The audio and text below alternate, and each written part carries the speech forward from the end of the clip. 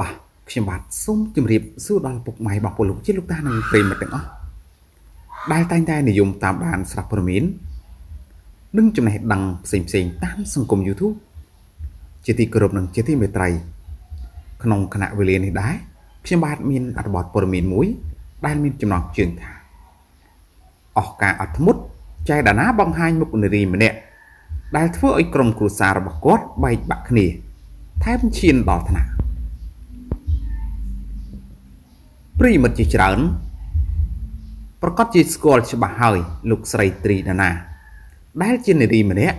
ដែលមានចិត្តសប្បុរសធម៌យ៉ាងសកម្មនៅក្នុងព្រះរាជាណាចក្រកម្ពុជា លោកស្រីតែងតែជួយទៅដល់ជនក្រីក្រដែលជួបការលំបាក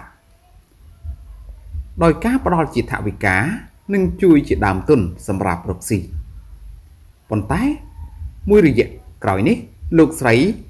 បានជួបរឿងក្នុងគ្រួសាររហូតដល់ថ្នាក់ចង់លេងលះគ្នាជាមួយនឹងស្វាមី គឺអុកញ៉ាហេរិតយ៉ាងណាមិញបន្ទាប់ពីលោកស្រីត្រីដាណាបានប្រកាសថា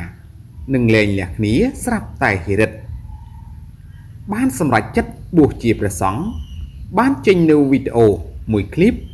សុំទោសទៅកាន់ប្រពន្ធរបស់ខ្លួន ហើយសូមឲ្យប្រពន្ធខ្លួន គឺអ្នកស្រីត្រីដាណា ទៅដកពាក្យលែងលះគ្នាពីតុលាការព្រោះលោកបានដឹងកំហុសនិងចង់វិលត្រឡប់ទៅមើលថែប្រពន្ធដូចដើមវិញទន្ទឹមនឹងនេះដែរអាកំបាំងត្រូវបានបែកធ្លាយហើយនារីម្នាក់ដែលជាគូស្នេហ៍របស់ពម៉ៅត្រូវបានចែត្រីដាណា យកមកបង្ហោះនៅលើបណ្ដាញសង្គមហើយនិយាយបែបនេះថា បងប្អូនចង់ឃើញមុខទេ ម្នាក់នឹងហើយដែលជាមូលហេតុធ្វើឲ្យក្រុមគ្រួសារខ្ញុំបែកបាក់គ្នា ម្នាក់នេះហើយដែលជាប្អូនស្រីរបស់ពូម៉ៅហើយព្យាយាមចាក់រុកគ្រប់បែបយ៉ាងរហូតធ្វើឲ្យអតីតប្តីខ្ញុំវាយខ្ញុំនឹងរករឿងខ្ញុំ រហូតមក ក្រុមគ្រួសារខ្ញុំ មិនឲ្យមានសេចក្តីសុខរហូតឈានដល់ការលែងលះគ្នា នេះហើយបងប្អូន មើលទៅចរិតពិតរបស់នាង គឺដោយសារបាត់បង់ប្រយោជន៍ពីខ្ញុំទើបចាក់រុកពូម៉ៅ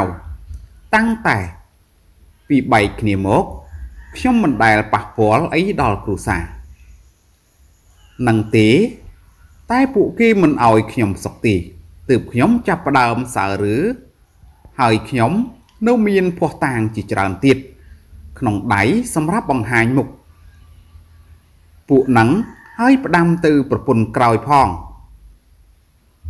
យកចិត្តនាងនឹងតិចបើមិនចឹងនាងនឹងប្រឆេះឲ្យលេងហើយបាទ ហើយអត្ថបទព័ត៌មានដែលខ្ញុំបាទបានជម្រាបជូនខាងលើនេះក៏មានតែប៉ុណ្ណឹងសូមអរគុណសូមជម្រាបលា